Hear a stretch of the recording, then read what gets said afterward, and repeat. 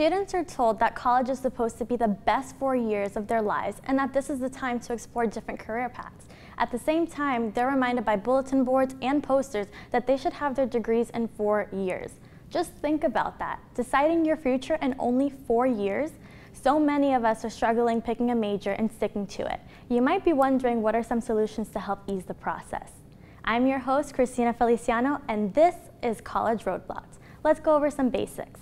Number one, reach out to your academic advisor. Their job is to help you navigate through each semester and help you find classes that align with your interests. Trust them. Number two, network. Join clubs, go to career fairs, talk to classmates. Networking can be done in so many forms, but they all can lead to the same results.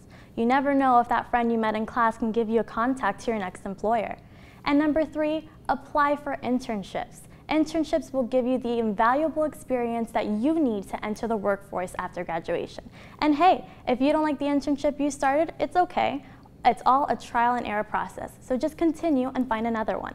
I hope you found these tips helpful. So what are you waiting for? Go get started and make the best of your college experience.